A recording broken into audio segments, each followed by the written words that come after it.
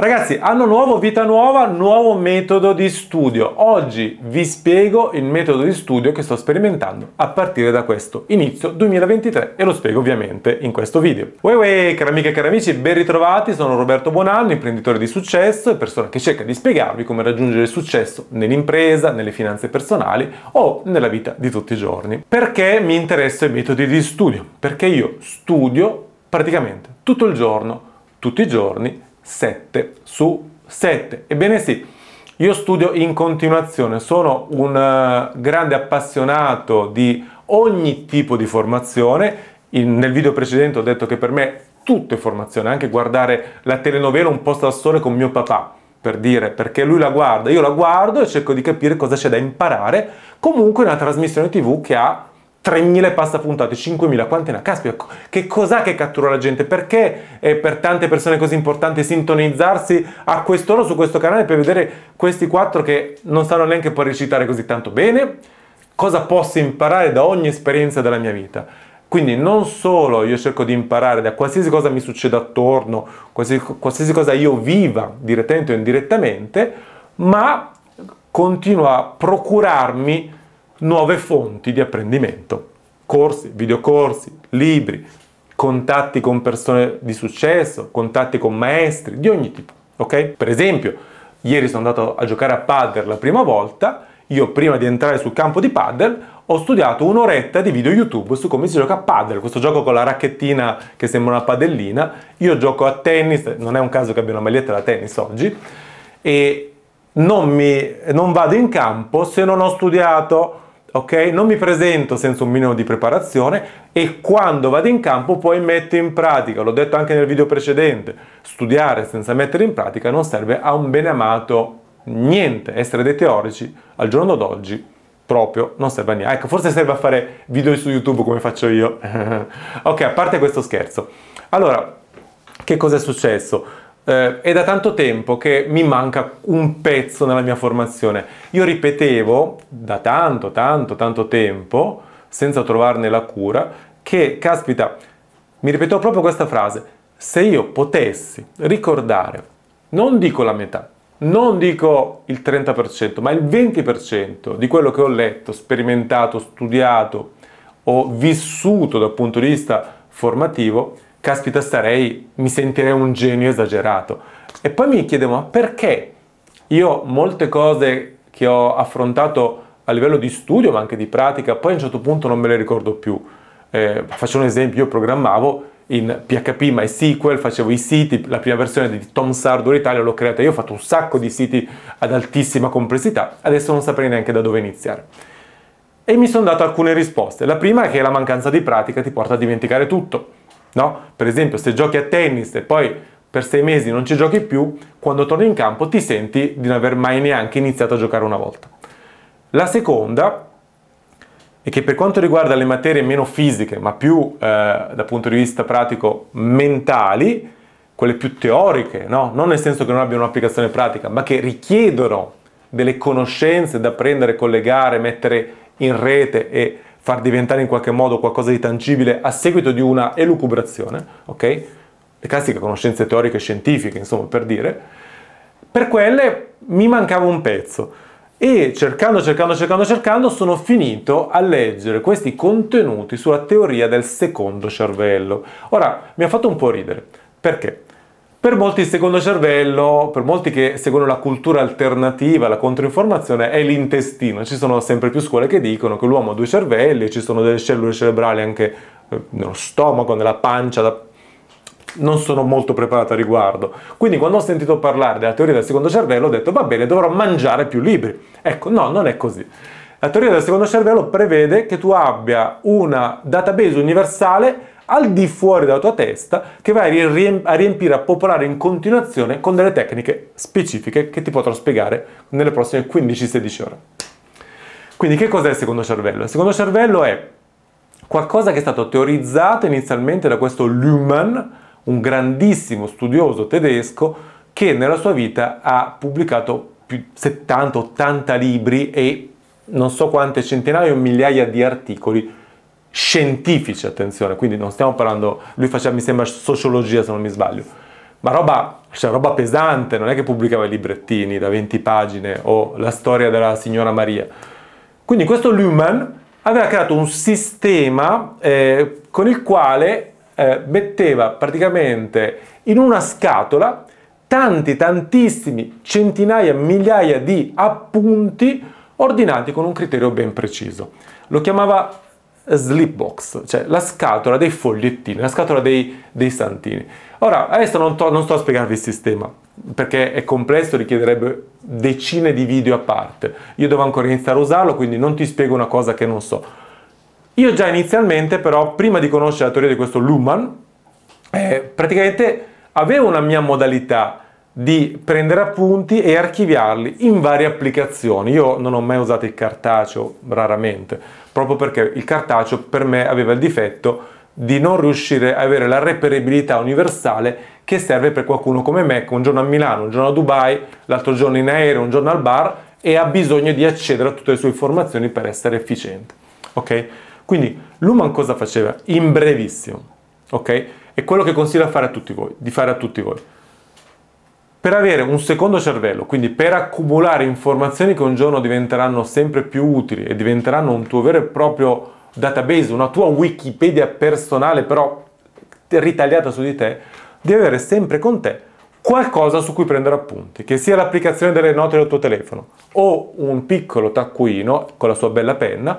Ogni volta che tu hai un pensiero interessante, ogni volta che hai un pensiero che ritieni sia utile per, tuo, per la tua Wikipedia personale, lo devi scrivere. Benissimo.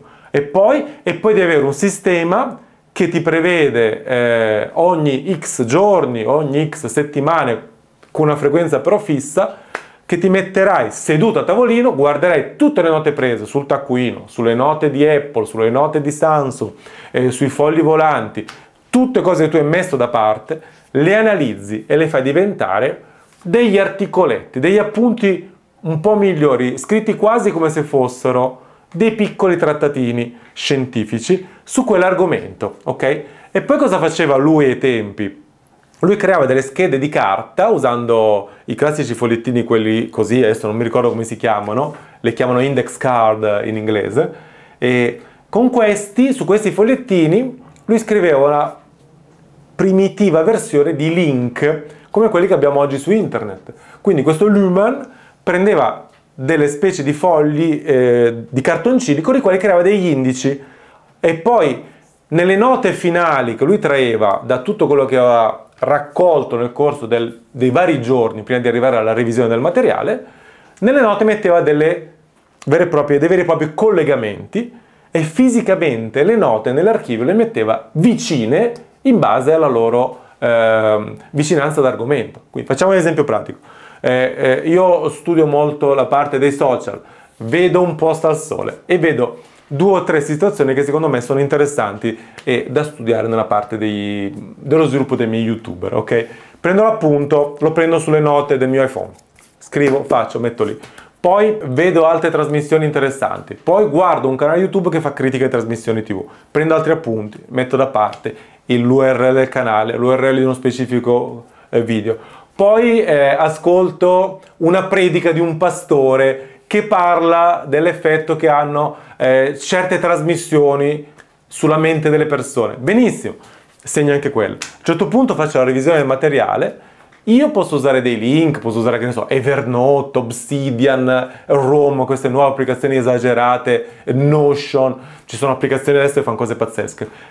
Il dottor Luhmann cosa faceva? Quando poi trascriveva da tutte le varie note e faceva ver- dei veri e propri articoli già pronti, succinti ma già ben scritti, nella scatola li metteva questi articoli uno vicino all'altro, numerandoli, che ne so, articolo 11, poi ne usciva uno vicino, articolo 12, poi caspita usciva uno che era però più relativo all'11 che al 12, 11A, 11B, 11C, e così aveva praticamente creato la sua Wikipedia, però la sua, la sua personale non quella di qualcun altro, quella con le sue considerazioni critiche, i suoi pensieri, le sue osservazioni, i suoi collegamenti. E tramite l'accesso a, questa, a queste scatole delle meraviglie, lui ha scritto 80 libri, cioè trattati scientifici, non roba da poco. Quindi sto iniziando anch'io a seguire questa situazione, ho ovviamente comprato l'ennesimo corso di questo Tiago Forte che non vi consiglio per adesso perché ancora non so se è efficace, che tratta proprio questo argomento. Quindi sono proprio curioso di vedere come andrà e ho iniziato già adesso, adesso quando io studio, grazie anche a questo oggetto fenomenale che è Kindle Scribe, che è il primo lettore di Kindle che fa anche la scrittura, e questo qua vedete, è una cosa esagerata. Adesso io con questo aggeggio qui ho cambiato radicalmente la mia modalità di studio. Perché? Perché prima avevo quasi smesso di leggere e facevo solamente ascolto di contenuti audio.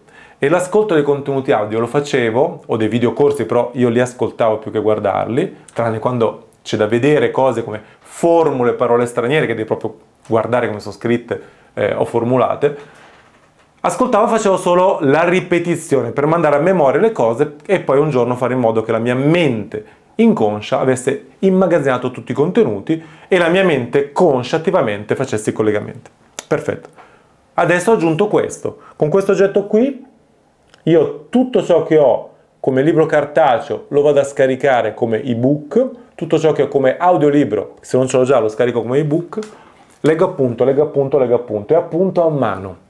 Appunto a mano grazie al fatto che questo oggetto scri- con questo oggetto scrivi come con un vero e proprio quaderno, con un vero e proprio taccuino. Quindi tu schiacci il bottone, adesso si vedrà malissimo, però ci proviamo. Quindi abbiamo una nota, nota, vado qua, sto appuntando questo libro e scrivo così.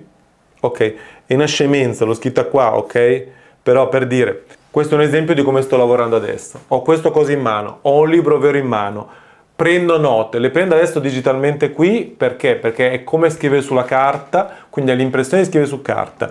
È uno schermo di tipo e-ink, quindi inchiostro elettronico, quindi non stanca gli occhi, mi permette di studiare anche 7, 8, 10 ore al giorno senza devastarmi gli occhi come facevo prima con l'iPad o lo schermo del computer e tutte queste note in automatico mi finiscono in un sistema tutto collegato con varie applicazioni che non sto a dirvi adesso e a un certo punto io me le ritrovo tutte nella mia Wikipedia personale, che nel mio caso sto creando con Evernote. Perché? Perché Evernote lo uso da più di dieci anni. Quindi già contiene un'enorme quantità di miei appunti, di riunioni, di appunti personali e di centinaia di altre cose che ho segnato nel corso della mia esistenza. Quindi sto applicando questa nozione del secondo cervello perché eh, ho notato che mi mancava un collegamento pratico tra quello che studiavo è quello che poi effettivamente metteva in atto nella mia esistenza. Siccome io eh, tuttora mi ritengo un, un divulgatore, per me sarà sempre più importante scrivere libri, fare video qui con voi, eh, insegnare ai miei ragazzi, ai miei collaboratori, a, alle persone che lavorano per me, per le mie aziende, a chi si rivolge a me come coach, a chi si rivolge a me per avere consulenze a qualsiasi livello, per imparare qualcosa dell'imprenditoria, dei social, di qualsiasi cosa che io possa insegnare avevo bisogno di avere il mio Wikipedia personale, il mio database universale personalizzato. Sto iniziando a crearlo e già adesso ritengo di avere della capacità di ritenzione che prima non avevo, ok? Alla base di tutto questo c'è un concetto fondamentale, ok? Secondo la teoria del dottor Luma, secondo la teoria anche della, del secondo cervello, per imparare devi scrivere e quando non stai studiando con una penna in mano l'efficacia del tuo apprendimento è molto inferiore.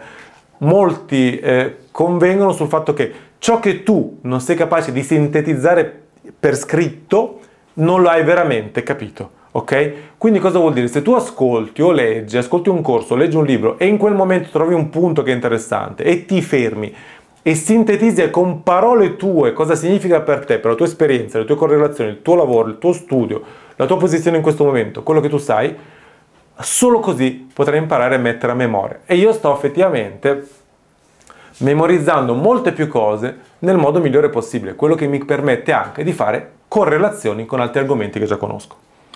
Siamo in beta, ho iniziato da solo una quindicina di giorni, quindi non so dirvi se funzionerà oppure no, ma se quest'anno vedrete uscire uno, due, tre libri nuovi e tanti video un po' più interessanti, magari sarà anche merito del mio secondo cervello. L'altra teoria alla base dell'uso di un secondo cervello, quindi di un archivio esterno per immagazzinare tutte le tue conoscenze, è che il nostro cervello deve essere usato per i collegamenti e per i ragionamenti e non per la memorizzazione. Infatti eh, si racconta di questo aneddoto di questo giornalista, non mi ricordo se russo o tedesco, che aveva l'incredibile capacità di ricordare ogni singola memoria di ciò che gli veniva detto e di ciò che leggeva. Il problema suo però era che non riusciva ad attivare quelle informazioni, non riusciva a renderle utili, perché lui non aveva in testa la sintesi di cosa questo contenuto significava per lui, ma aveva in testa esattamente le parole scritte nel libro e proprio a questo punto il principe aveva preso fuoco e si era messo a gridare parole sconvenienti. Non aveva scritto, non aveva in testa, attenzione il fuoco brucia, era scemenza, ok? Devo ricordarmi che il fuoco brucia, devo ricordarmi di usare i guantoni quando prendo le cose dal forno, ok? Aveva in mente le singole parole e quella è una teoria che è molto pericolosa. Quindi buttare a memoria dei contenuti senza averne fatto una analisi critica, personalizzata di quello che per te è il significato di quelle cose nell'ambito della tua intera conoscenza olistica, non è un vero apprendimento secondo questa teoria. Non so cosa ne pensi tu, a me sta iniziando già a dare dei frutti. Quindi adesso vi aggiornerò su questa teoria del secondo cervello, è la mia sfida di quest'anno. Molti mi chiedono perché continui a studiare? Nel senso, hai avuto la tua carriera, hai fatto le grandi realtà, hai creato aziende milionarie, hai fatto delle exit, hai fatto un sacco di cose pazzesche. Che cavolo studi ancora? Perché non stai su una spiaggia col ciringhito a berti i cocktail? Perché nella vita o si va avanti o si va indietro, non esiste la stasi. Quindi la vita, l'esistenza prevede per le forme di vita solo due stati, la crescita o l'entropia, la decrescita e la morte. Siccome il secondo stato a me non interessa particolarmente ancora per parecchie centinaia d'anni, preferisco stare sempre nello stato della crescita, ovvero ciò che cresce vive per sempre. Ed ecco perché io studierò ogni giorno della mia vita finché me ne sarà data la possibilità.